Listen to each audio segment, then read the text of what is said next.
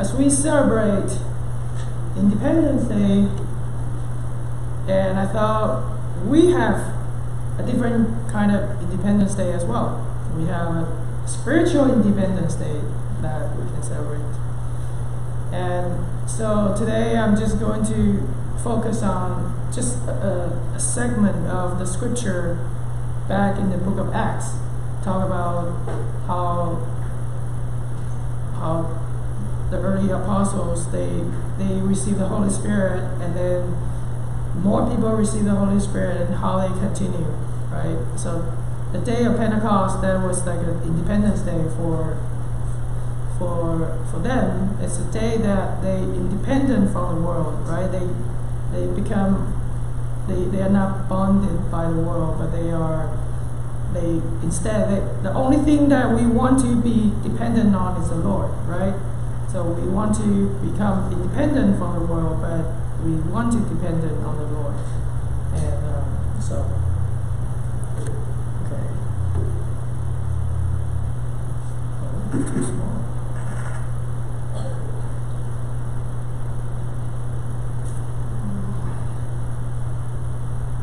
What happened?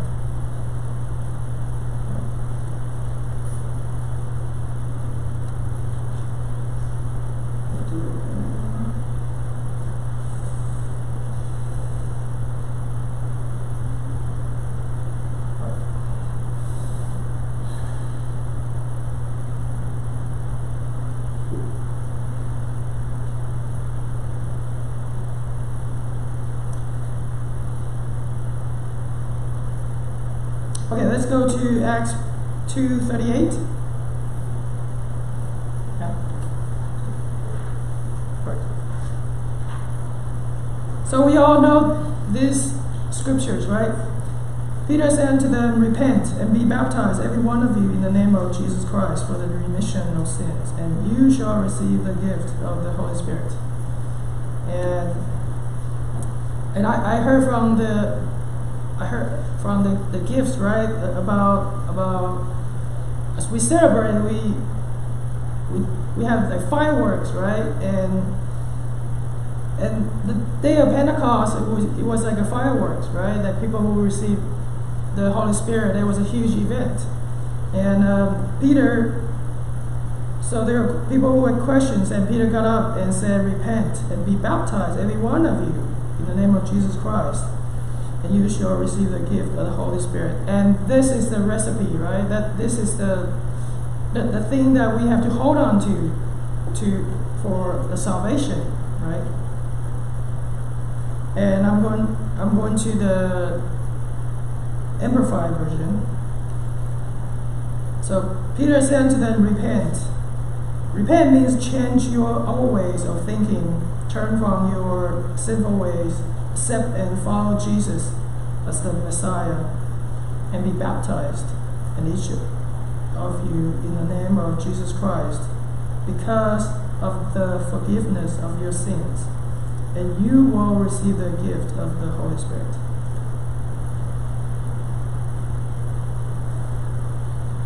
Verse 39.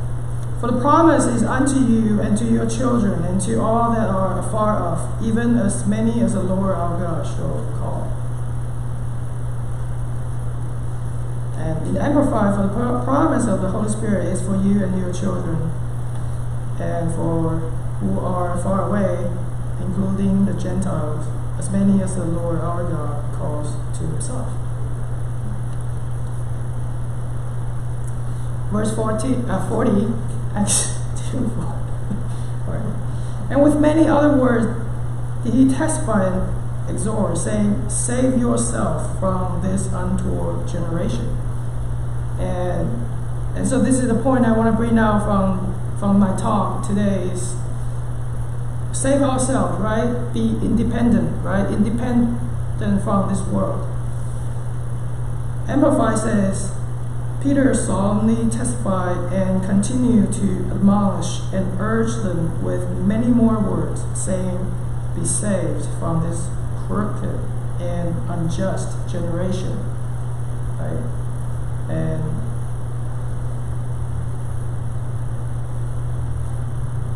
And here it says, Peter continued to admonish and urge them with many more words, right? I guess even back then it was not that easy that it's not like you say once or you, you just say something and people follow, right? You had to, like Peter, he had to tell them with many words, right? To try to persuade them, convince them.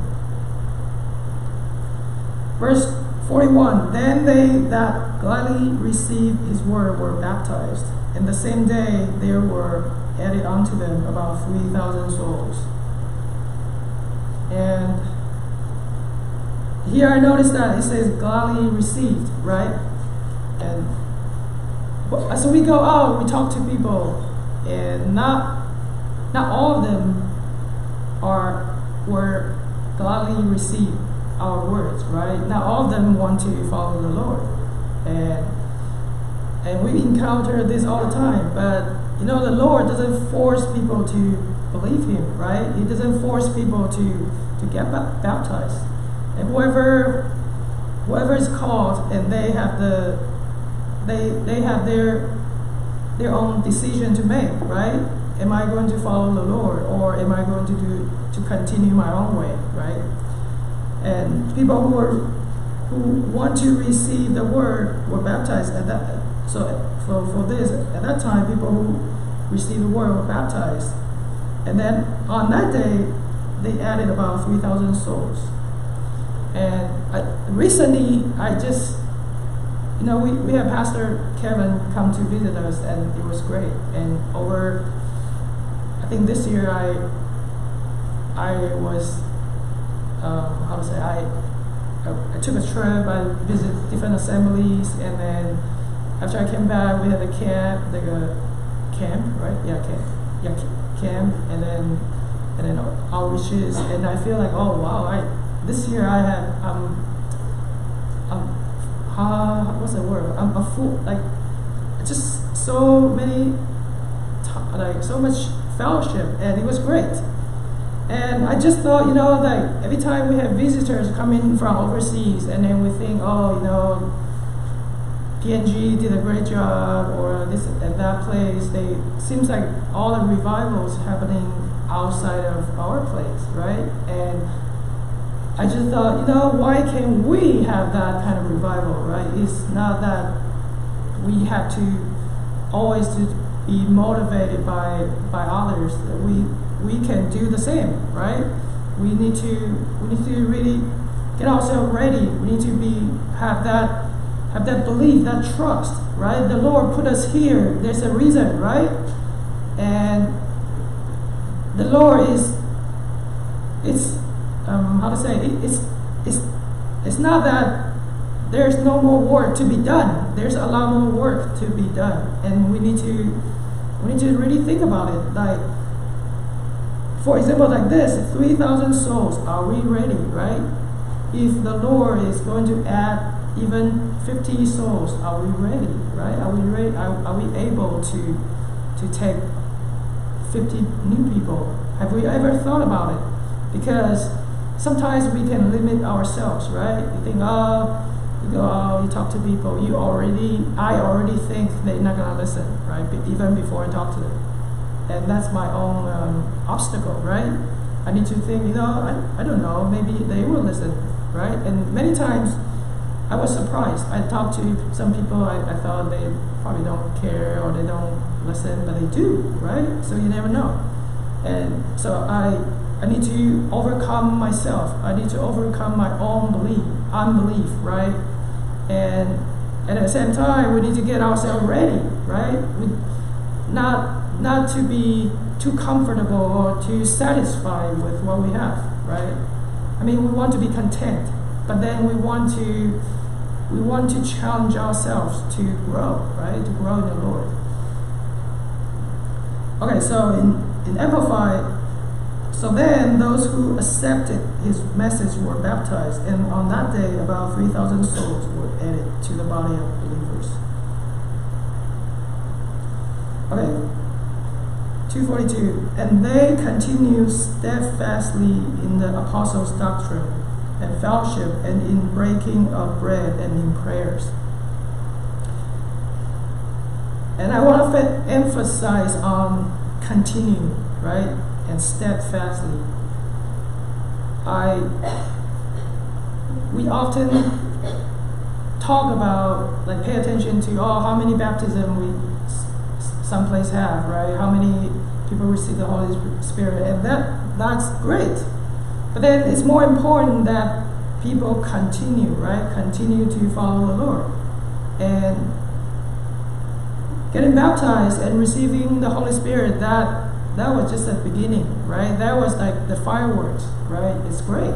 But then after that, you have to continue, right? You, you don't just get baptized, and receive the Spirit, and then not walking in the Lord. And so they continue steadfastly in the apostles' doctrine and fellowship. And we know it's important to, to have fellowship with one another, right? And in breaking of bread, right? Share, have meals together. We do that all the time. Our potluck tomorrow, and we have many dinners. And this year, I I wanted to have like lunches with people, but so far, so far, I, only, I think I went to lunch with maybe only a handful of people, but but it was more than nothing last year, or not nothing, but like more than before, right? And and because I want to spend time one on one or two two two or three, and with with people in the Lord, right? And because like right now, I, I, I look I look at you, and say, oh wow, these are all my favorite people, right? Except, no, just kidding. yeah, yeah. And so I, I want to know, get to know you better because sometimes we have a, a, a big fellowship functions and then, but we don't really have time to talk to talk more um, deeply, right? To understand each other more. And so sometimes that that's a. I think if we can have more, even like more one-on-one or, or small group time, that would be great. Yeah. And then in prayers, prayer is so important, right? We need to pray for each other. We need to pray with each other, right? So same thing, amplified. They were continually and faithfully devoting themselves to the instruction of the apostles and to fellowship, to eating meals together, and to prayers.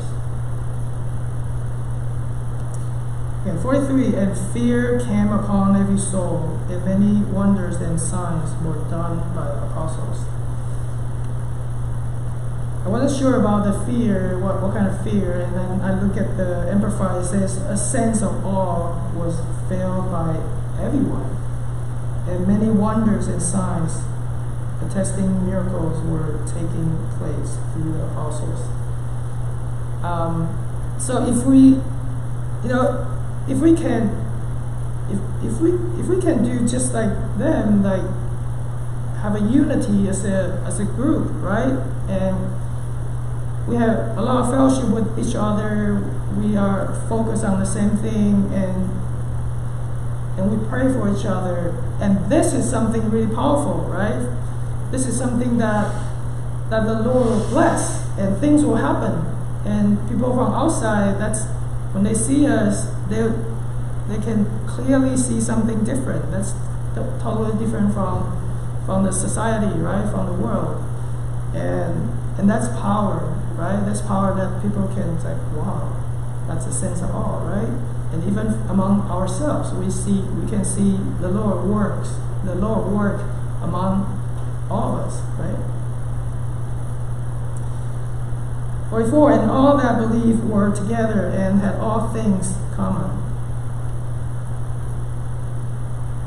And all those who had believed in Jesus as Savior were together and had all things in common considering their possessions to belong to the group as a whole. 45. And sold their possessions and goods and parted them to all men, as every man had need. And Amplified says, as they began selling their property and possessions and were start sharing the proceeds with all the other believers as anyone had need. And I, I think in addition to, to the material things that we can share, I think we, we're doing, we're doing a fairly good job. We, we help each other in this fellowship, right? The people who have need, that they, they are helped. And, and when we come together, we, people always are very helpful. They help each other. And the, the best thing that you can share is not only the material things, but it's your love, right? Your time, right? Your your prayer, your your thoughts, right? For one another, your attention, right? When you when you when you pay attention not just to yourself but to others, right? Look around, right? Pay attention to other people, and and if everybody is doing the same, then we are all taken care of, right? And nobody will be left out, right?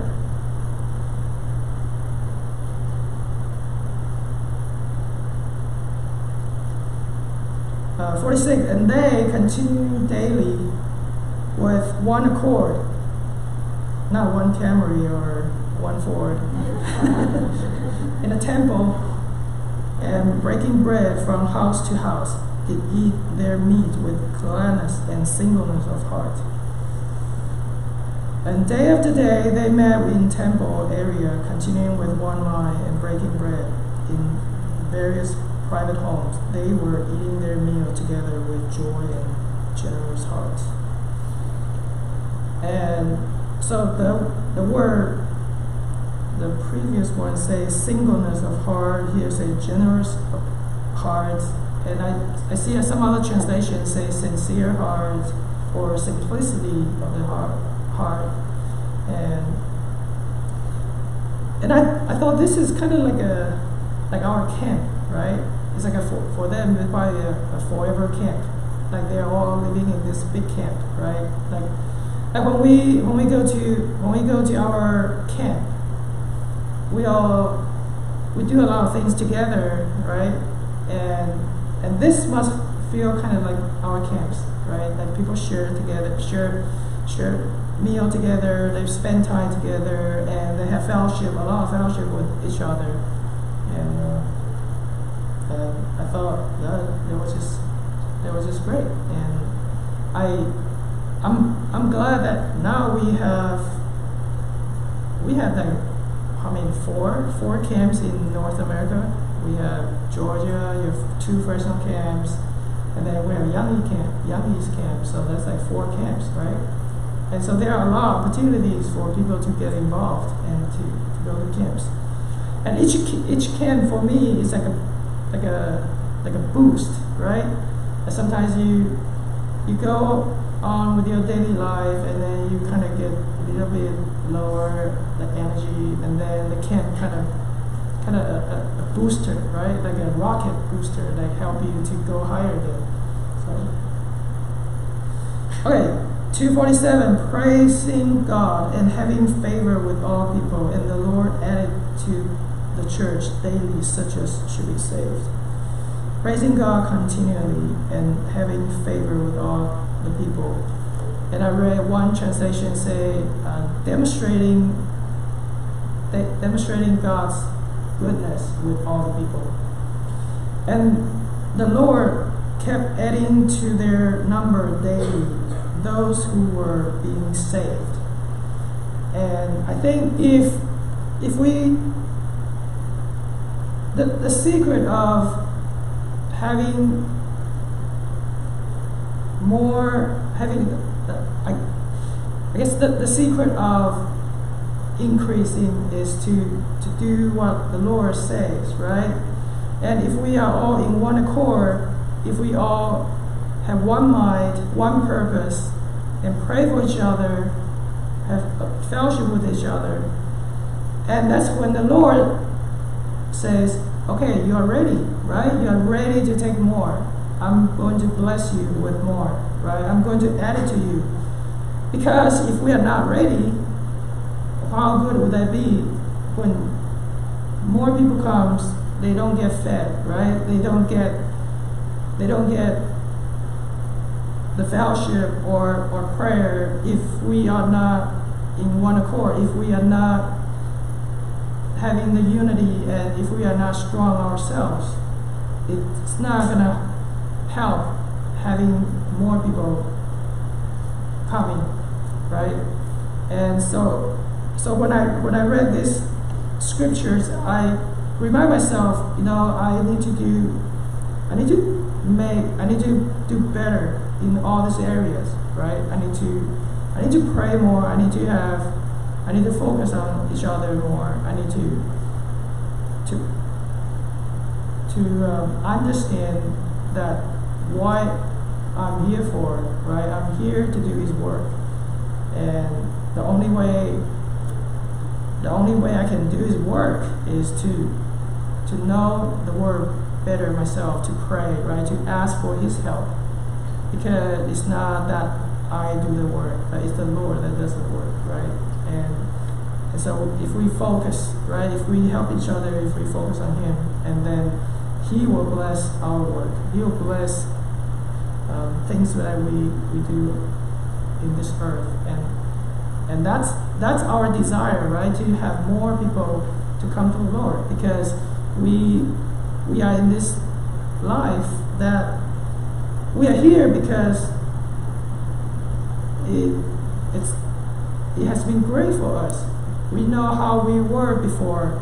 Before we were independent from the world, the life was not the life that we wanted, right? It was we were in bondage of this world. But now we are independent from the world. We are relying on the Lord. And we want more people to know that this is a better way. Just like P said, like when he heard that there is a better way, and it's actually an easier way because the Lord said his yoke is easy, right?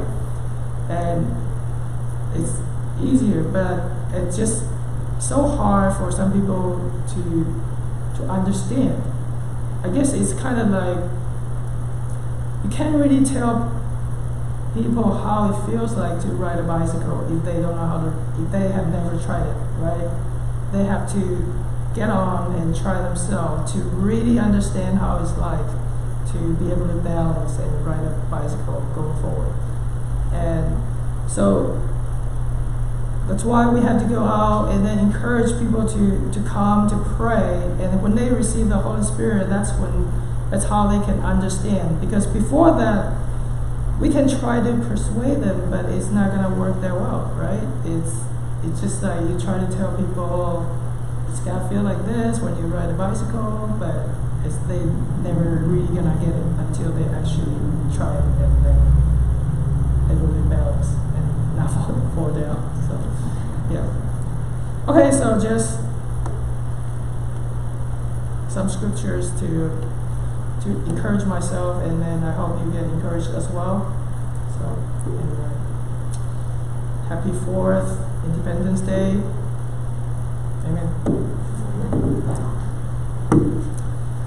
Prayer time, please come forward, and we will.